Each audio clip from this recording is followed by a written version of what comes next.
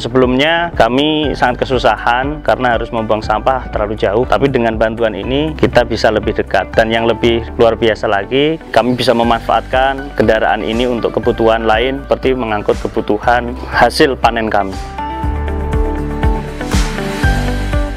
Kami sangat berharap Mas Ibas tetap sehat dan yang penting adalah tetap menjadi wakil kami di DPR RI karena bagi kami Mas Ibas adalah putra terbaik di Pacitan. Terima kasih.